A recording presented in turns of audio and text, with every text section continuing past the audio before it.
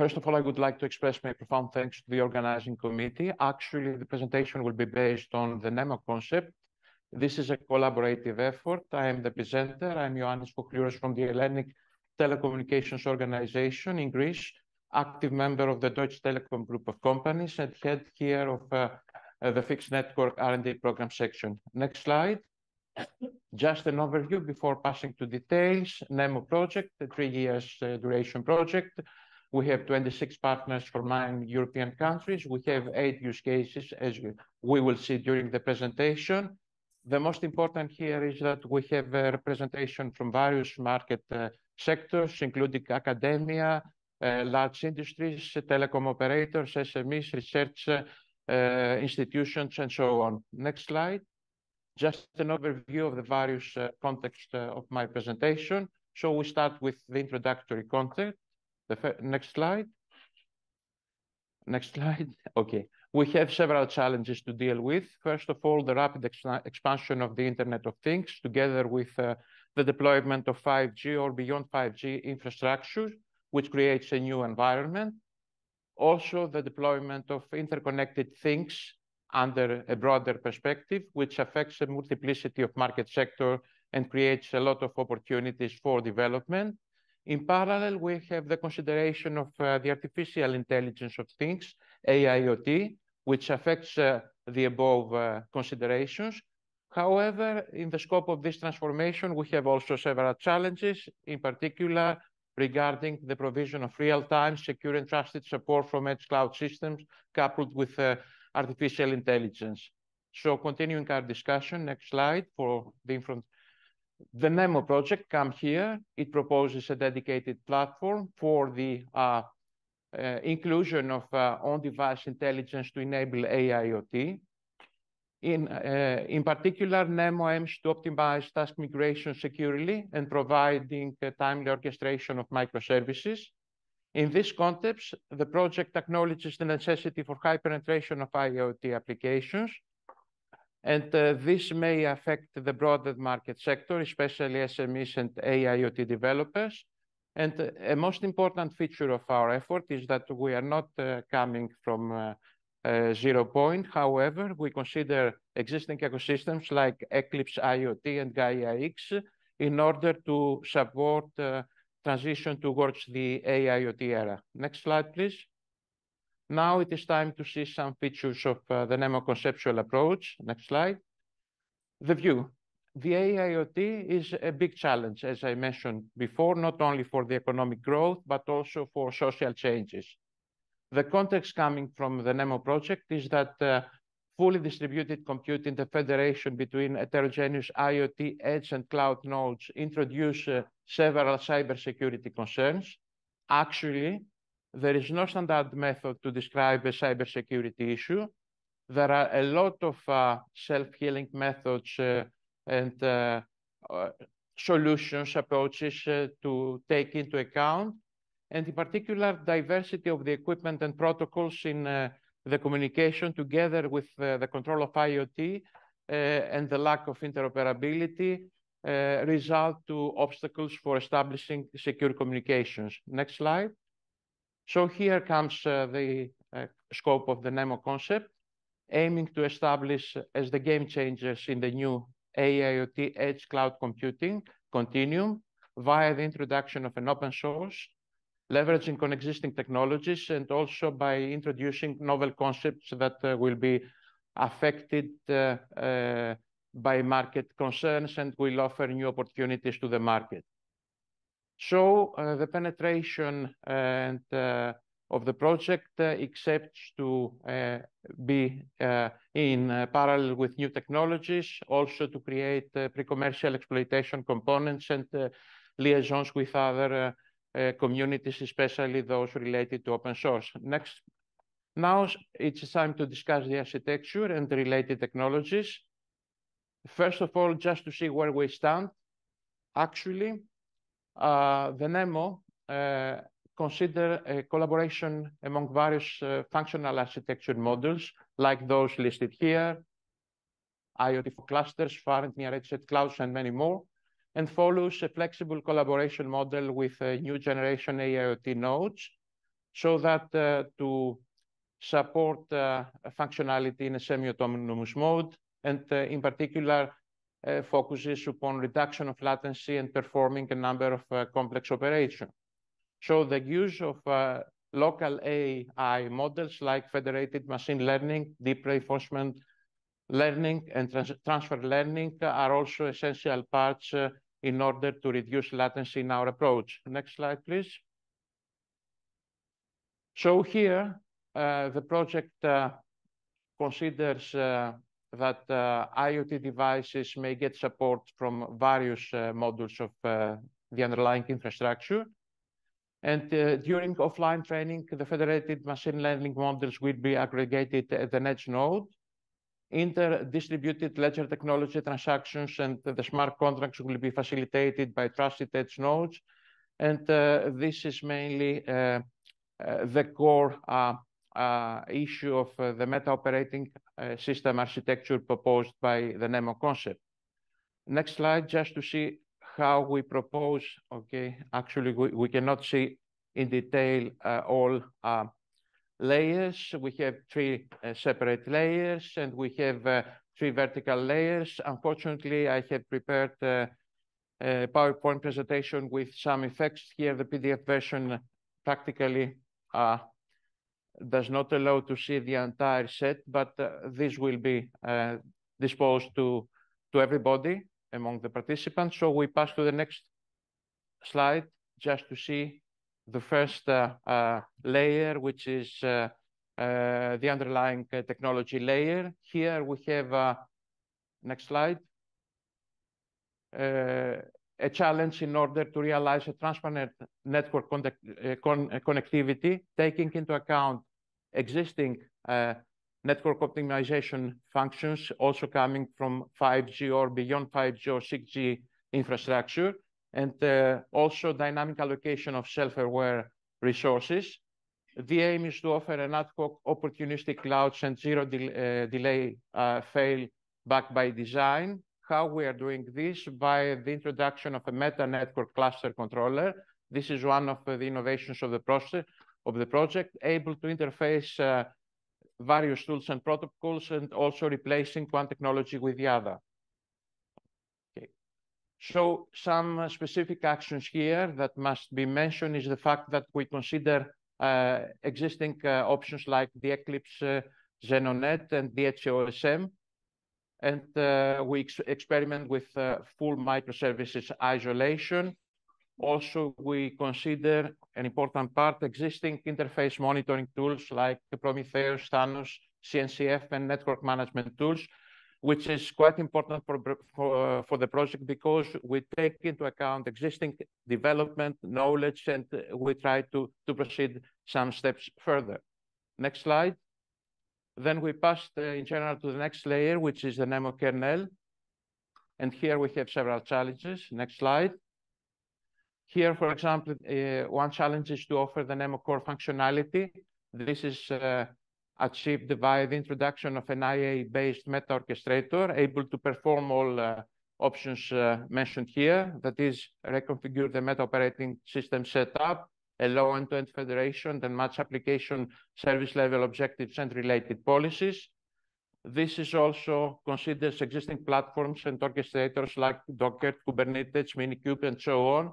So once again, we consider existing uh, knowledge in order to uh, re-render microservice and unikernels and uh, also support secure and transparent migration of virtual machines between federated data centers.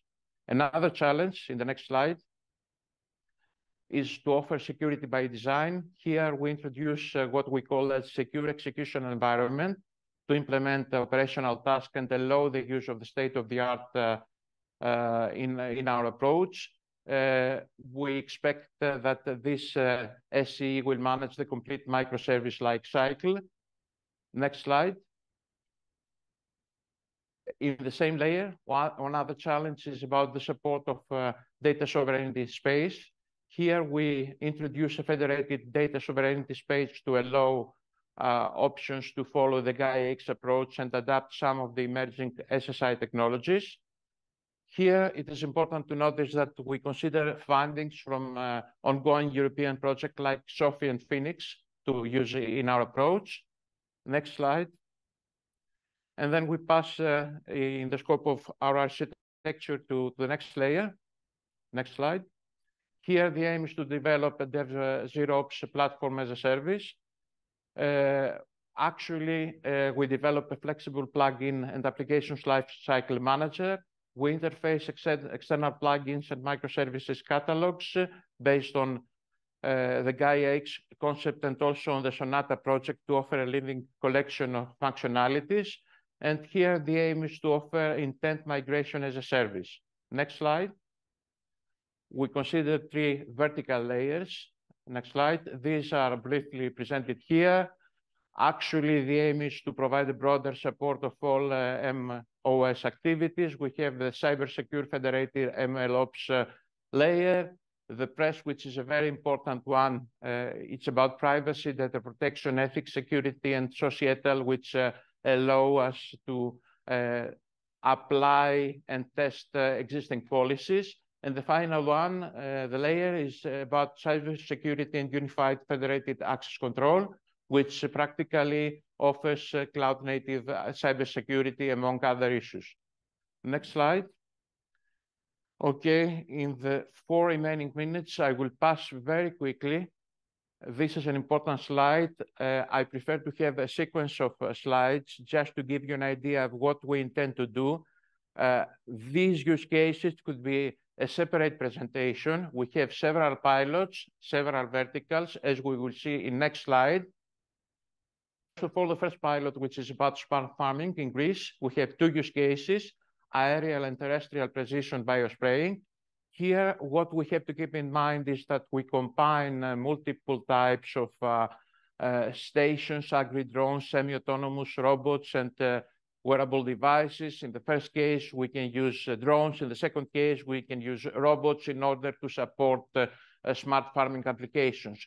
Next pilot in Italy, it's about um, uh, smart energy and smart mobility. Actually, the smart energy intends to optimize grid uh, operations.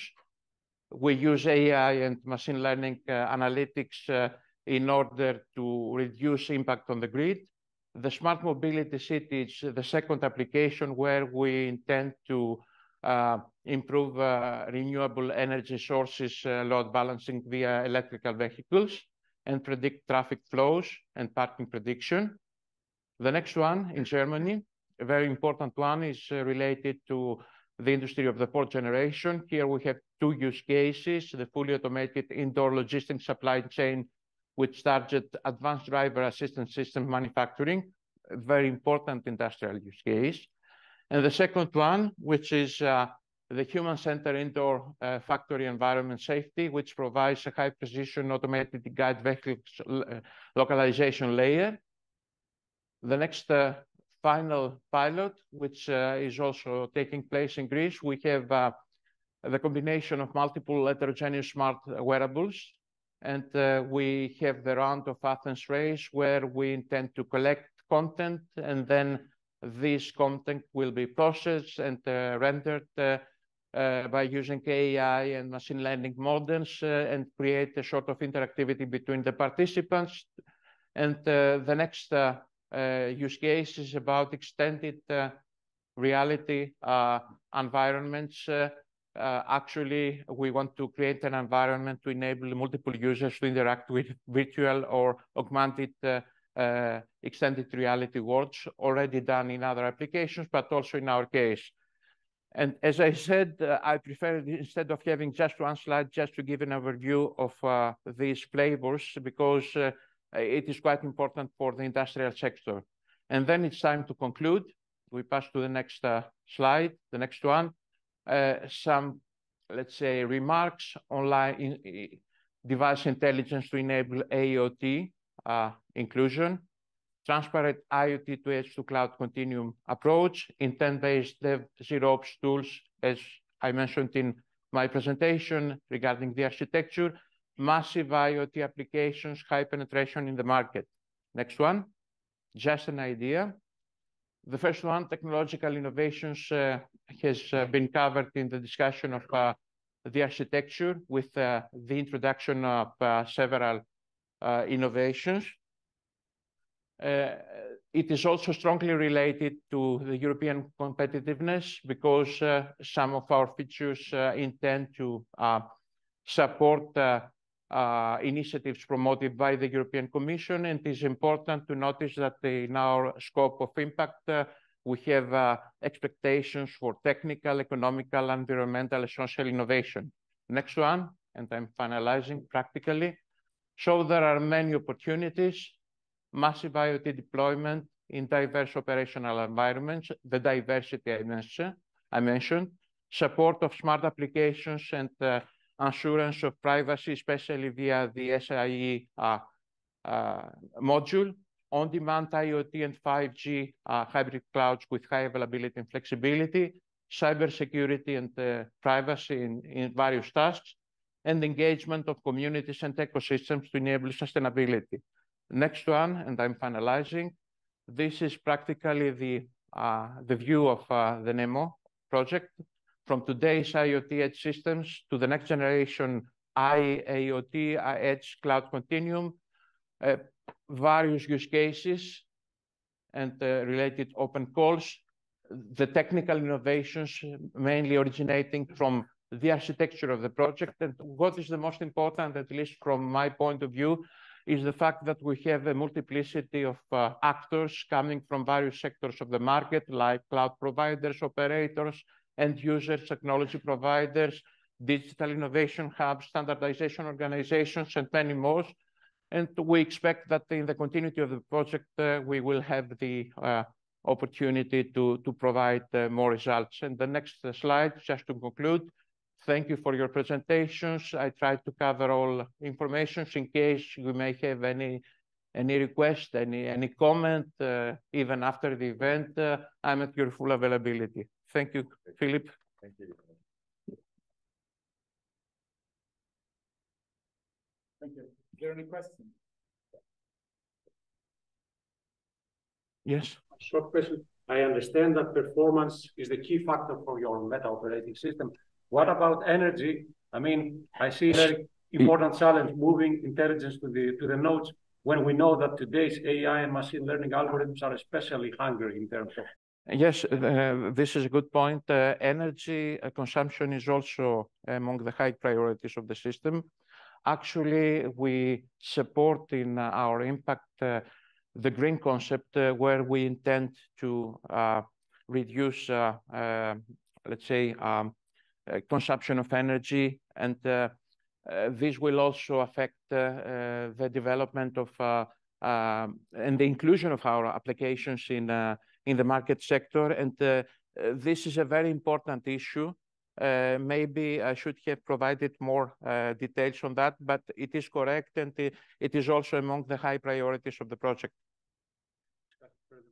Exactly, because it's a key issue if we want all these Uh, innovations and uh, applications, especially in the various pilots, in the various use cases to to become adoptable in the market, uh, we must provide solutions for for energy consumption as well. This is correct. Yes? Yeah, I think I would like to expand on the question about it. It's becoming a burning issue on IoT because of the number of devices and the energy and the carbon footprint. What we want to promote in the innovation is, on the one hand, to have some energy-aware computing. So if you put more computing capacity and you do the programming, that you have a bit of a notion, you know, what does it mean for the energy consumption. And Second is uh, energy-aware computing. And the second is to have sort of uh, include some flexibility. Can I shift some workload to periods where I have uh, a lot of energy available? So flexibility, awareness, and energy awareness. This is correct. As I mentioned uh, in my uh, introduction, as we are also intending to consider uh, 5G infrastructure and beyond 5G infrastructure, these are also concerns because I'm coming from the network operator's point of view. This is quite important to ensure that energy consumption is reduced, not only to have better uh, reduction of uh, latency and better, let's say, uh, performance, but the energy point of view remains critical for, for the applicability. That's correct. I also wanted to add the fact that if we look at carbon, carbon footprint, we cannot treat energy as fungible.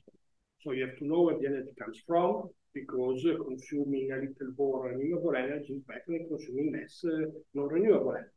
I know that there is some research, uh, I am familiar with some work at ETH Zurich, about green routing. Mm -hmm. So theoretically, if the network has enough metadata so that you can know where the energy production comes from, they showed in some simulation that they try to route on a, on a geographic area the packets to uh, the, the, links that have, uh, let's say, the least carbon. And this is something Yes, uh, I, I, may say uh, from, let's say, from the practical point of view, some of the pilots, uh, like the second pilot in Italy, which is related to uh, the effective use of the grid, uh, here also in the smart farming, uh, but more in Italy, we we look for options there in order to, to reduce the energy consumption. And uh, in these, uh, in the related to use cases, it may be more evident compared to the other ones. But uh, in principle, this is correct, uh, and I fully agree that this sort of challenge must also be a high priority, a pillar of the core architecture of the meta operating system as a whole, uh, as I tried to, to, to, present. That, that is correct.